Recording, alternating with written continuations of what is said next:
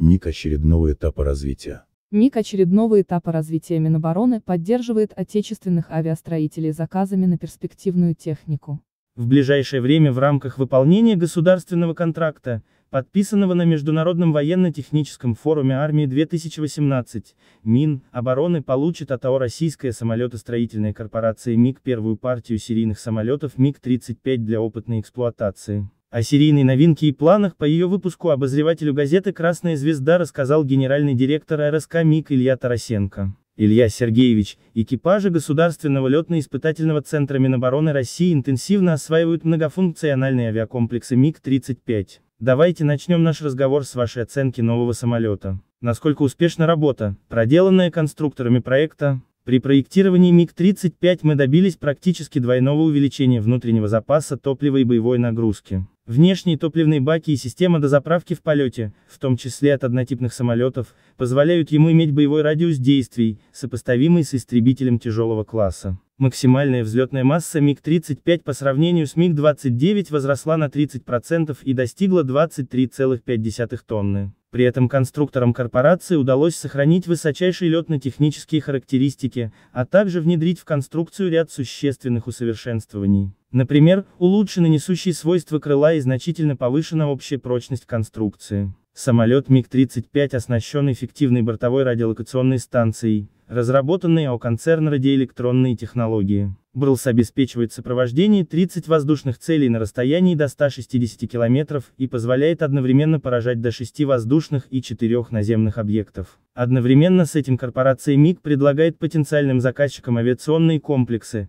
оснащенные инновационными радарами с пассивными и активными фазированными решетками. Несмотря на то, что МиГ-35 относится к самолетам поколения 4, устанавливаемое на него бортовое радиоэлектронное оборудование по своим характеристикам не уступает применяемому на зарубежных истребителях пятого поколения. Новейшая БРЭ на авиакомплексе в полной мере обеспечивает возможность ведения воздушного боя днем и ночью, в пределах и за границей визуальной видимости. Высокоэффективные средства радиолокационной и оптической разведки, установленные на МиГ-35, позволяют обнаруживать малозаметные воздушные и наземные цели. Всего этого удалось достичь благодаря интеграции в самолет новейших систем, ранее применявшихся лишь в космонавтике. Текущие производственные мощности корпорации МиГ позволяют производить ежегодно более 30 машин. В дальнейшем какие изменения претерпит, так скажем, базовая модель, какие новые и модернизированные комплексы, система планируется или будет возможно установить на нее. Безусловно, при создании 35-го мы предусмотрели возможности для дальнейшего его совершенствования. По мере появления новых систем и технологий мы сможем предложить модернизацию самолета, в том числе до уровня следующего поколения. Заложенный в МиГ-35 принцип открытой архитектуры обеспечивает широкие возможности в плане модернизации бортового оборудования. Илья Сергеевич, в завершении нашей беседы расскажите о состоянии производственной базы РСК МиГ. На какой тип объемов серийного производства нового авиакомплекса МиГ-35 сориентирована сформированная кооперация предприятий-соисполнителей? Государственной программой вооружения предусмотрена поставка авиационных комплексов МиГ-35.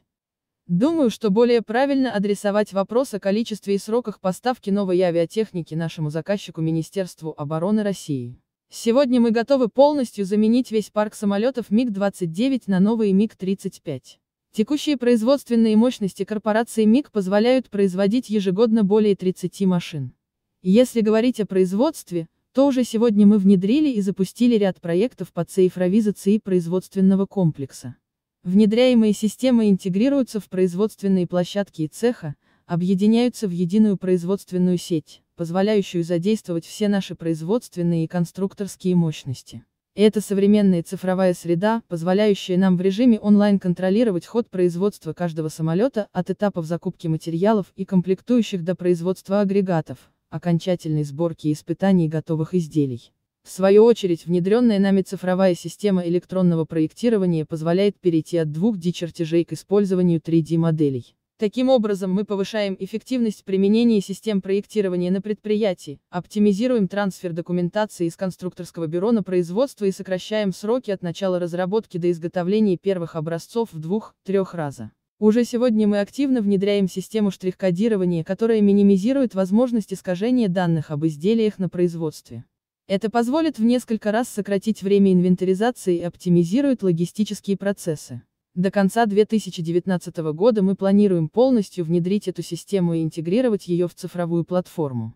Внедрение высокотехнологичных цифровых систем и техническое перевооружение предприятий и корпораций требует активного изменения самой системы управления производством, повышения культуры производства. Сегодня на более чем 70% рабочих мест корпорации МИК внедрена система 5. В 2018 году мы запустили более 100 проектов развития производственной системы. Общий экономический эффект от внедрения проектов производственной системы только в 2018 году составит более 34 миллионов рублей. Юрий Авдеев «Красная звезда».